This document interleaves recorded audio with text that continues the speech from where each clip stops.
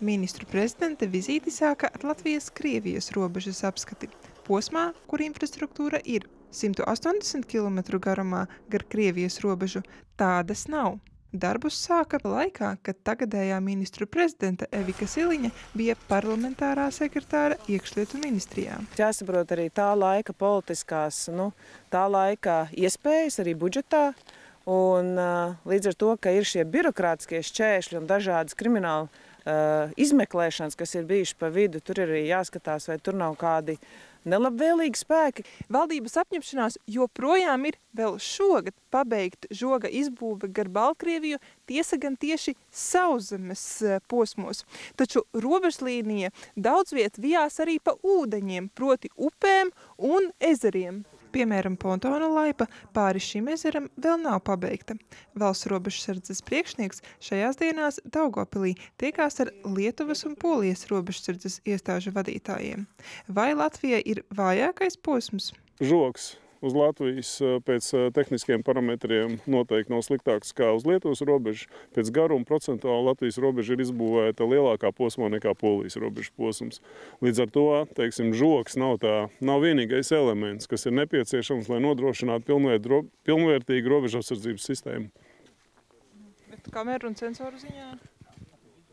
Šo komponentu vajag attīstīt. Un arī tiem darbiem ir vajadzīgi izprojektēt, kā labāk tātad uzlikt šīs tehnoloģijas.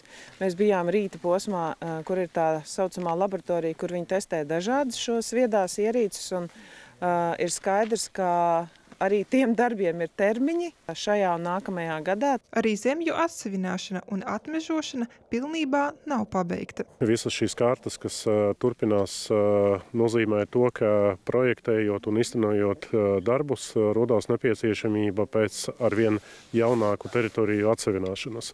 Bet viss notiek atbilstoši plāniem un tam vajadzībām, kādas ir būvniekam. Atmežotājiem, mežstrādniekiem var nākties atgriezties vietās, kur, piemēram, sagatavota pietiekami plata josla žogam, bet ne citai infrastruktūrai. Taču, lai arī kāda rosība būtu gar robežu, migranti nekur nav pazuduši. Viņu attieksme ir klāja nihilistiskā, kā jau es minēju, ir vardarbības mēģinājumi pret robežsargiem. Skaidrs, ka nav izslēgts, ka tāda akta var notikt arī pret cilvēdzotājiem. Ministres vizītes laikā no Baltkrievijas puses uzmanību sāka izrādīt citi, kā definēja robežsardzes ģenerālis, nedraudzīgas vienības. Migranti vai robežsargi? Robežsargi izskatās, bet viņi, viņi, viņi ir vēl bīstamāki. Vizīte noslēdzās bez starpgadījumiem.